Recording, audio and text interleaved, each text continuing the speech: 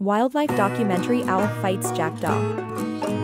Owls and jackdaws are both interesting birds, each with their own unique behaviors and skills.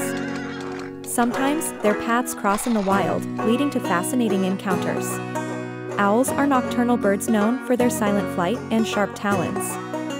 Jackdaws are smaller birds, active during the day and known for their intelligence. Owls usually live in forests and are most active at night when they hunt for food. Jackdaws live in open woodlands and urban areas, often seen during the day searching for food.